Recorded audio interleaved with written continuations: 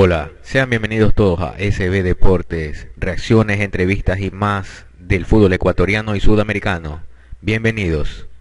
Vamos con las novedades del MLE para mañana. Chinito, ¿cómo está? Un fuerte abrazo para usted. Le agrego una palabra, bueno, para usted y para todos los compañeros en la mesa y las personas que... dirigente que no quiere saber nada de Melec es el señor Ricardo Santiago Ponce Novoa, quien presentó su renuncia irrevocable del directorio del Club Sport Emelec. El primer vocal del directorio de José Pilegui puso su renuncia. Eh, los motivos por el cual él ha dado el adiós a, a ser parte de esta dirigencia es por el conflicto que hubo ayer si se quiere el conflicto, la, respuesta de la Hacia lo que también venía diciendo hace, algunos meses también la José Piley como presidente del club Spremeleg. Entonces, eh, él se quiere alejar de eso. Él tiene 30 años trabajando con el club Spremeleg, ha trabajado con, con varios dirigentes, pero bueno, entonces el señor Ricardo Santiago Ponce Novoa, primer vocal hasta hoy del club Spremeleg, presentó su renuncia chino y obviamente marcó como Estefano. Algo alarma, cuénteme. Eh, te perdona, te interrumpo. Yo leí, esta mañana leí completita la carta de Roberto Ponce que le dirige al presidente Pilegui. Y el argumento principal que él da, y recurro a ti para, para, para compartir la interpretación que tú tengas, es de que él tiene que tener amistad con los que se fueron y amistad con los que están. Y se siente que está incómodo en un punto medio donde donde él tiene aprecio y, valor para ambas directivas, la saliente y la entrante. Entonces, ante esa posición incómoda, prefiere irse. Es lo que yo interpreté en su carta. ¿Cuál es tu lectura de eso?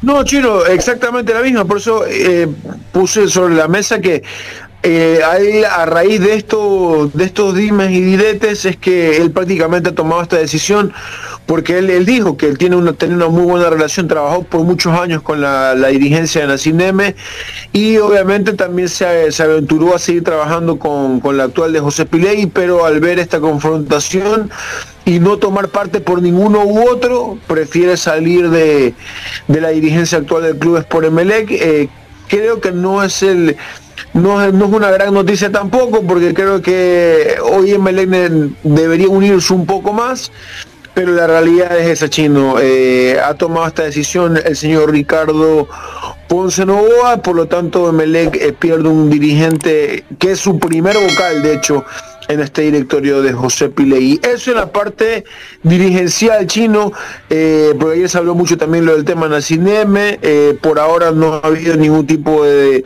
pronunciamiento de José Pilei, vamos a ver si quizás más adelante existirá.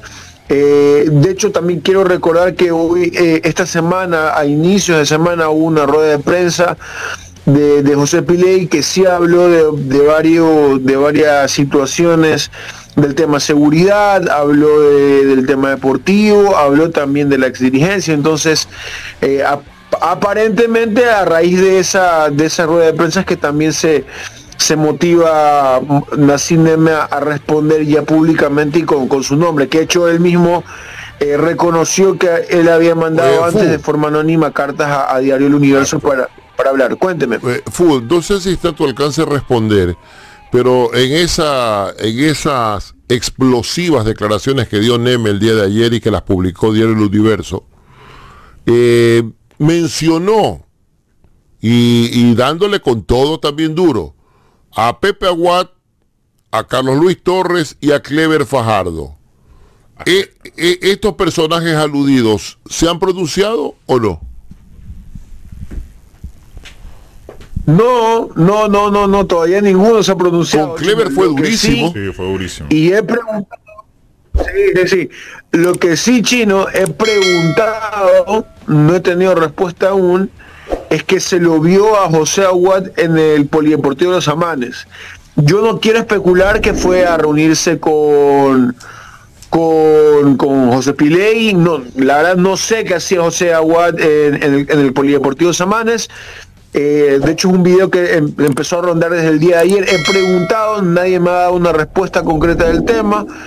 Pero eh, es, lo que está en redes sociales y, no quiero seguir especulando el tema, pero luego un pronunciamiento de estas partes, por lo que dijo Nacindeme, por ahora nadie. Ha habido un mutis general Así que por ahora, Chino, el, dime y direte está en silencio. Vamos a ver qué pasa luego del partido de mañana de Melé contra Bushuruna. Yo creería, Chino, a, propósito de ese partido, eh, por tiempo, usted sabe que aquí hay que correr, porque este es el programa que más comerciales y cortes tiene de toda la programación de D-Blue. Eh, algo tiene en este programa que todo el mundo quiere anunciarse aquí. Lo que le decía, eh, eh, lo que quería consultarle es, esta mañana fue el doctor Canesa en su programa Los Comentaristas, con todo su equipo de trabajo, daba a conocer una formación, probable formación del Emelec, que a mí me dejó perplejo. Perplejo porque mencionó como zagueros centrales a Coyaguazo y Bagüí, los dos jóvenes valores del Emelec. ¿Es cierto eso? ¿Qué tan cierto es? No, no dudo lo que dice el doctor, por si acaso, sino la información que recibió. Chino, yo tengo entendido que va a Coyahuaso junto a Agrón. Eh, a mí no me parece extraño que lo consideren a, a, quizás entrenó con Baúl en algún momento, pero eh, yo tengo entendido que iría Coyahuaso junto a Agrón. Ahora, eh, el Coyahuaso Agrón a mí me genera dudas porque los dos son de perfil zurdo. Entonces, quizás la inclusión de Baúl tiene algo de sentido porque él tiene perfil derecho. Entonces, ahí tendrías un perfil derecho y un perfil izquierdo. Ahora, a mí me llamaría mucho la atención que vaya Coyahuaso junto y que lo saquen a Agrón, porque Agrón viene siendo titular. Entonces sí me, hace algo de ruido, ese, esa dupla. Yo tengo acá el posible 11 ML chino, lo, voy a recitar rapidito para que ustedes lo puedan analizar. En el arco estaría Pedro Ortiz, Romario Caicedo por derecha, Jair Coyaguazo junto a Bliner Agrón, Chalá por izquierda, no va a estar Jackson Rodríguez de arranque, eh, Aníbal Chalá va, va a ser eh, lateral izquierdo para el partido contra Musurruna, en la mitad de la cancha, Joseph Espinosa repite junto a Cristian Valencia. Como media punta, eh, algo en lo que, estábamos hablando también a inicio de semana, chino, va a estar Alexis Zapata, el colombiano. Eh, va a estar también Miguel Bolaños, pero Miguel Bolaños como delantero.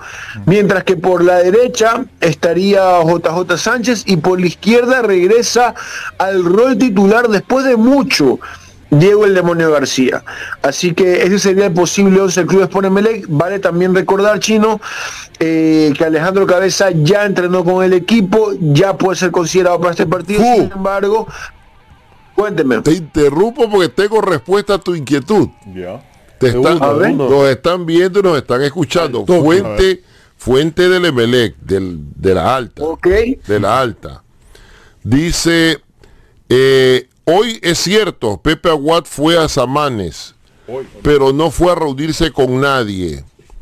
Eh, fue a conocer cómo ha cambiado Samanes, de la posilga que era lo que es ahora. Fue como socio. Todo socio del Emelec tiene derecho a entrar a Samanes, aunque no sea ese socio de nuestro agrado. Así es que hago la aclaración. Me lo dice fue a conocer Samar. Perfecto, lo, que yo dije, lo que yo dije. Yo no me la termino de creer por si acaso. Chino, igual, a ver, yo lo que lo que comuniqué, porque usted me puso lo, eh, sobre la mesa Watt y dije que hubo un video que salió de Polideportivo Samar. De ahí luego yo no he dicho que fue a hablar con José Piley, no he dicho que se fueron ni con jugadores, nada, nada. Simplemente hubo un video en el que salía. No, yo, te pregunté porque, como en la comunicación que ayer, ayer dio el señor Neme, explotó con nombres y apellidos contra todos y los nombró a los que yo mencioné, te, no sabía si ya había habido alguna descarga o alguna algún manifiesto al respecto, pero no lo he escuchado ni he visto nada de Clever Fajardo, ni del señor Torres, ni del señor Aguat. Pero era, era mi inquietud nada más. Estefano, eh, eh, para, repasar el equipo, eh, Valencia Espinosa por los costados. Zapata, Zapata en media punta, por derecha JJ Sánchez, por izquierda Diego el Demonio García y Miller Bolaños como, como nuevo, como, como un falso nueve, si se quiere, Hermi. Lo que les decía, Alejandro Cabezas va a ser considerado para este partido, quizás no de arranque, pero sí va a estar en la banca suplentes. Y luego también vale la pena recordar que Luis Fernando León no va a estar considerado por las dos las próximas fechas.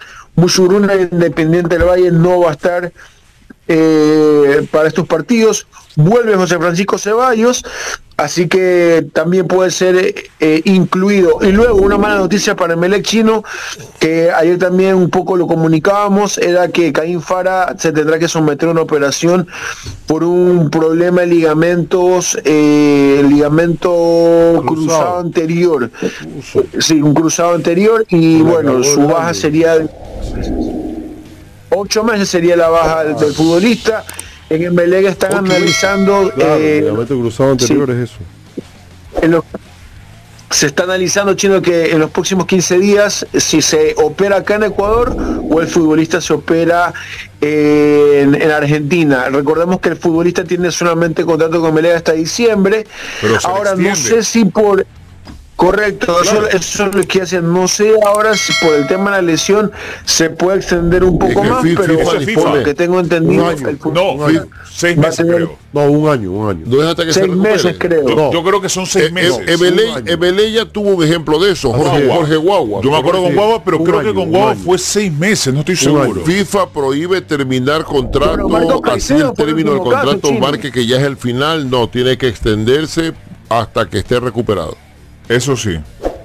Chino, de hecho, el, último caso fue Marcos Caicedo. Marcos Caicedo ah, también, claro. el 2022 se lesionan y le dan, le dan un año más de contrato, que fue este acá, que bueno, al final termina rompiéndose de forma mutua con, con la actual dirigencia y bueno, ya de hecho está en Estados Unidos viviendo Marcos Caicedo. Correcto. Te mandamos un gran abrazo, Estefano. Buen fin de semana, maestro y buen trabajo también. ¿ah? Eh, conversaba eh, a los medios de comunicación, los dirigentes de Barcelona, tanto Antonio Álvarez como el presidente Carlos Alejandro Alfaro Moreno, y se está trabajando, ya se está cocinando el tema de Leonay Sousa para una eh, posible renovación. Recordemos que el contrato de Sousa acaba este diciembre de 2023. Leía y... ya van por la compra. Pero Alfaro dijo un porcentaje. Sí, un porcentaje. No todo. Para eh, por lo menos tenerlo un par de años. A ver, creo que tiene hoy 28, años. 28 y con el buen año que ha tenido Sousa y esas noticias llegan a Uruguay, el club uruguayo dirá, ¿lo quieres? Tienes que pagarme todo, lo que todo, todo. y por la edad porque interesados va a haber. El tema el tema es que ya por contrato en la opción de compra debe estar estipulado el valor. Es, decir esto ya está tipificado en el contrato. Eh, y hoy Barcelona tiene la primera opción a pesar de que puedan haber otros interesados. Es decir dependerá de Barcelona ejecutarla o, no o hacer una buena oferta. O, hacer, una buena oferta que en definitiva termine convenciendo al, al Seguramente recordará de tantos partidos que ha, que ha tenido que visitar luego.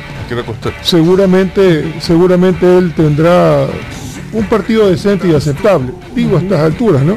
Pero en todo caso creería que es esa la formación eh, Sousa en el medio campo con Trindade. Vuelve Trindade. Trindade no, no, terminó el partido pasado por algún tipo de molestia, pero creería que él salta de titular. Okay. A no ser, repito, que tenga una situación ya mayúscula, que ya no se pueda superar. Ahí podría haber alguna variante, pero póngale solamente un signo de interrogación para quien habla. Para el técnico está más que claro, porque los ve todos los días. En caso de que no sea Jesús, puede ser Aibor. Podría, ¿no? Aibor entró el partido anterior no entro los cambios no me gustaron. ¿Cómo entraron? Por lógica eran buenos los cambios. el rendimiento, el rendimiento de los ¿Cómo entraron? No, por ejemplo, Adoni poco. Eh, bueno, Obando en la suya, un muchacho juvenil, incluso tuvo una, clarito.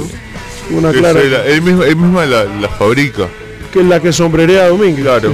La que la, gana, la gana por inteligencia, por, por viveza, por ser ese jugador eh, que, busca y bueno ya no pudo definir de mejor manera pero la buscó está ahí pendiente ¿sí? de ahí Gaibor me parece que le faltó Gaibor que muchos se habían confundido porque la gente de prensa de Barcelona se había equivocado y le había puesto de titular.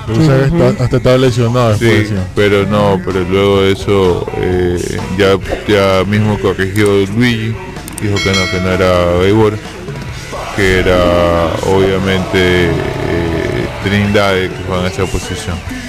Bien, eh, dejémoslo tentativamente a Jesús. Bueno, los aleros. Trindade con Sousa o Sousa con Trindade. Si no puede Trindade, seguramente buscará variantes alternativas que puede ser Gaibor.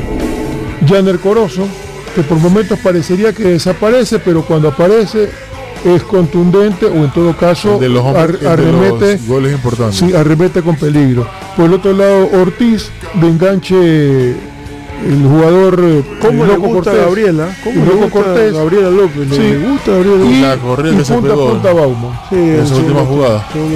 Creería que ese es el, plantel, perdón, el, que el que salta, el que arranque de titular contra el conjunto del Deportivo Mira lo importante que es la cuando el técnico te da la confianza.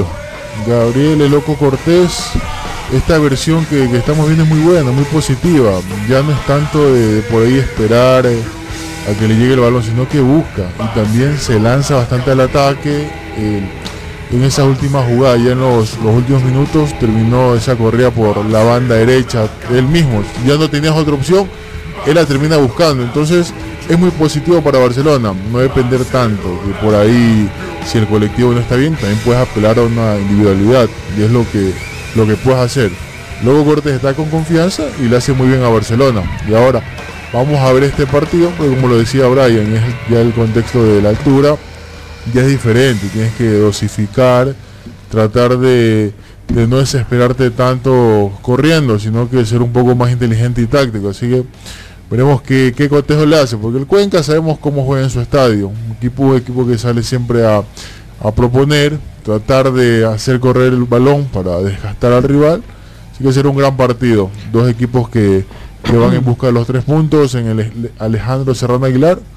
Todos los condimentos están ahí para, para que se partido. Rapidito, sí. dice por acá Tito Falconía, ese saco de sal de Javier Alaba hay que pasarle el huevo. Eh, Obando fue convocado para jugar el amistoso contra Panamá, un amistoso eh, de preparación para el Mundial de Indonesia Sub-17, pero por pedido de Barcelona la FEF lo soltó, Barcelona lo pidió y Obando está convocado para este partido. Entiendo yo que seguramente tendrá minutos así como lo hizo con Liga de Quito. Y si no tiene minutos, forma parte del plantel y la solicitud creo que está dentro de lo prudente, porque no es el primer equipo que... A eso quería llegar. Pide... O sea, está de acuerdo con que lo hayan llamado Obando desde la selección. Es que Barcelona lo ha llamado desde la selección para que retorne. Es que para, para Barcelona o para el técnico de Barcelona, es una alternativa buena. O en todo caso puede ser también una variante o de, si, él, cree conveniente que salte de titular. ¿Razón, motivo, circunstancia? Es porque forma parte del plantel. El siguiente partido es con Deportivo Cuenca y puede ser un jugador utilizable para el O porque Firiseuski no está acto para jugar. Es que puede ser un jugador utilizable, pues. Es verdad, tiene varia, tiene, perdón, este, tiene bajas en la ofensiva, como el que sabemos, el, el polaco y es por eso de que Obando podría ser una primera alternativa ante una eventualidad del delantero titular o si el técnico cree conveniente que salte como titular. ¿Está de acuerdo usted, Cornejo? Que lo hayan vuelto, que lo, que, para mí regresado. Para mí ni lo de Obando, ni lo de Obando, ni lo de eh, bueno, lo de Bando, porque Coyahuasi tengo entendido que sí va a ir a la larga. O sea, juega con MLX y va a volver. Va a jugar, va a jugar y va a regresar. En cambio, lo de Obando no. Bando dicen que no va a ir, no va a ir. Este amistoso con Panamá, ah, no sé cuánto lo estaba, estaba también y tampoco estoy de acuerdo con lo de Kendry Páez. Que no lo lleven. Claro, para mí esto es un proceso. Todos los jugadores de todos los deportes tenemos un proceso.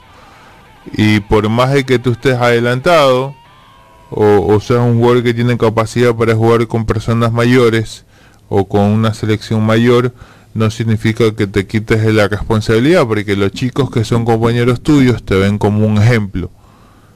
Y ellos mismos muchas veces te piden. Y tú como el líder innato, el líder porque eres el mejor entre ellos, el líder porque está destacando en sus equipos, tienes que mostrar un respaldo a tus compañeros. ¿Y cuál es la forma tuya de respaldar a tus compañeros? amigos, chicos, estoy acá, voy a jugar con ustedes, desde la selección, quiero que hagamos un gran mundial, quiero que saquemos la casta, quiero que demostremos que somos lo que somos, aquí nadie es mejor que nadie, olvídense de que me llamaron o algo, aquí vamos a jugar. Todos somos capaces, todos somos listos, todos, somos iguales, tenemos que sacar en alta la selección, así que vamos juntos, tres, Ecuador, pum, a la cancha ganamos y nos vamos a dormir. Eso es lo que tiene que hacer un líder. No olvides suscribirte, activar la campanita, darle like y compartir para que estés al tanto de más videos del fútbol ecuatoriano y sudamericano. Hasta luego.